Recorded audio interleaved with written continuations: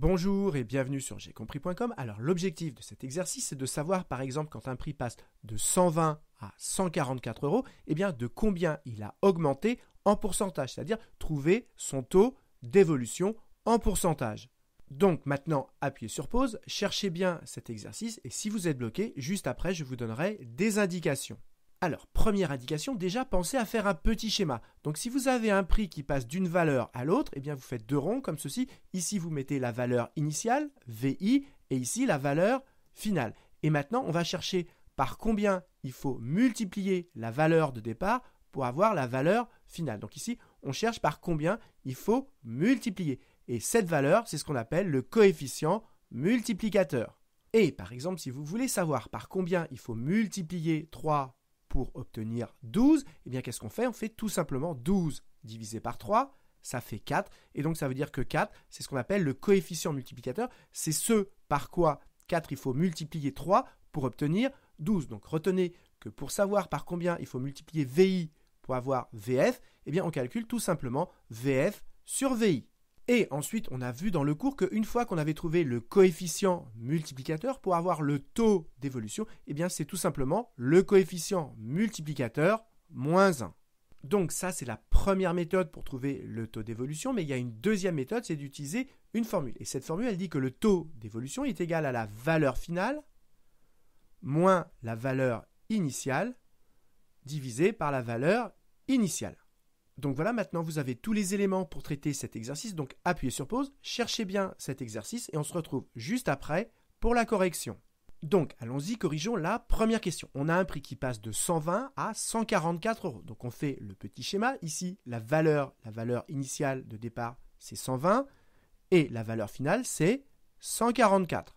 Maintenant, on cherche par combien il faut multiplier 120 pour obtenir 144. Pour cela, on calcule tout simplement 144 divisé par 120. Et si vous faites le calcul, ça fait pile 1,2. Ça veut dire qu'il faut multiplier 120 par 1,2 pour obtenir 144. Donc ça veut dire que le coefficient multiplicateur, que je vais appeler CM, eh bien il vaut 1,2. Et le taux d'évolution, on a vu le taux d'évolution, eh bien le taux d'évolution, il est égal au coefficient multiplicateur, c'est-à-dire 1,2, moins 1 et 1,2 moins 1, ça fait 0,2. Donc voilà le taux d'évolution. Et si on veut l'avoir en pourcentage, eh bien on décale la virgule de deux crans. Donc ici, si je décale la virgule d'un cran, deux crans, eh bien ça fait pile 20%. Et ayez bien à l'esprit que ici, c'est sous-entendu plus 20%. Donc ça veut dire que ici, le prix a augmenté de 20%. Voilà le taux d'évolution en pourcentage. Maintenant, deuxième méthode pour trouver le taux d'évolution, c'est d'utiliser cette formule valeur finale, c'est-à-dire 144, moins initiale, c'est-à-dire 120, divisé par la valeur initiale, c'est-à-dire par 120. Et là, si vous faites le calcul, vous allez tomber directement, directement sur le taux, c'est-à-dire directement sur 0,2. Et pour l'avoir en pourcentage, on fait exactement pareil. On décale la virgule de deux crans et donc on retrouve que ça fait plus 20%. Et si vous venez de comprendre comment ça fonctionne, ce que je vous conseille maintenant, c'est d'appuyer sur pause, d'essayer de finir seul, et on se retrouve juste après pour la suite de la correction. Passons à la deuxième question. Cette fois-ci, on a un stock qui baisse de 250 kg à 180 kg. Donc la valeur initiale, c'est 250. Et la valeur finale, vous l'avez compris, c'est 180. Et donc, on se pose la question par combien il faut multiplier 250 pour obtenir 180 Eh bien, tout simplement, on fait, on calcule 180 divisé par 250. Et si vous faites le calcul, vous allez tomber sur 0,72. Donc, ça veut dire que pour passer de 250 à 180, on multiplie par 0,72. Donc, 0,72, c'est notre coefficient multiplicateur. 0,72. Et maintenant, pour avoir le taux d'évolution, toujours pareil, c'est le coefficient multiplicateur, c'est-à-dire 0,72 72 moins 1. Et si vous calculez 0,72 moins 1, ça fait moins 0,28. Donc voilà le taux, il est négatif, ça veut dire que ça correspond à une baisse. Et oui, on est passé de 250 à 180, on a bien baissé. Et pour avoir ce taux en pourcentage, eh bien on décale toujours pareil, on multiplie par 100, on décale la virgule de deux crans. Et donc ça fait moins 28%. Et donc ça veut dire que ce stock, il a baissé de 28%.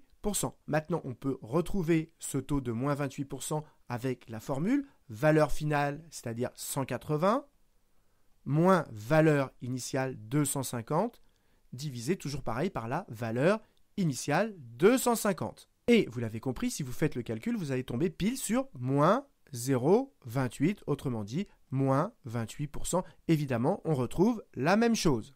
Passons maintenant à la question C. Cette fois-ci, on a un village de 300 habitants qui voit partir 60 habitants. Attention, la valeur initiale, c'est bien 300, mais la valeur finale, c'est pas 60, c'est 60 personnes qui partent. Donc il y en a combien au final? 300 moins 60, ce qui nous fait 240. Donc la valeur euh, finale, faites bien attention, c'est 240 et non pas 60. Maintenant, toujours pareil, on cherche par combien il faut multiplier 300 pour obtenir 240 et pour cela, on fait 240 divisé par 300 et on tombe, si vous faites le calcul, pile sur 0,8. Ça veut donc dire qu'il faut multiplier 300 par 0,8 pour obtenir 240. Donc notre coefficient multiplicateur, c'est 0,8. Et donc notre taux d'évolution, c'est le coef multiplicateur 0,8 moins 1. Et si vous faites le calcul, 0,8 moins 1, ça fait moins 0,2. Donc le taux d'évolution c'est moins 0,2, comme il est négatif ça correspond à une baisse, et pour l'avoir en pourcentage, eh bien on fait x 100, c'est-à-dire qu'on décale la virgule de 2 crans, et ça fait donc, vous l'avez compris, moins 20%. Autrement dit, ça veut dire que le village, eh bien le nombre d'habitants a baissé de 20%. Et évidemment, on peut utiliser cette formule pour retrouver le taux d'évolution directement, donc valeur finale, c'est-à-dire 240, moins valeur initiale 300 divisé par valeur initiale, c'est-à-dire par 300. Et si vous faites le calcul, vous tombez pile sur moins 0,2, c'est-à-dire moins 20%. Donc voilà, cette vidéo est maintenant terminée. Alors qu'est-ce qu'il faut retenir? Eh bien comment on fait quand on connaît le prix initial et le prix final pour calculer le taux d'évolution? Soit vous utilisez cette première méthode, soit vous utilisez cette formule, mais il faut absolument savoir le faire. C'est une question extrêmement classique. Et comme d'habitude, si vous avez apprécié cette vidéo, n'hésitez pas à la partager et à la liker.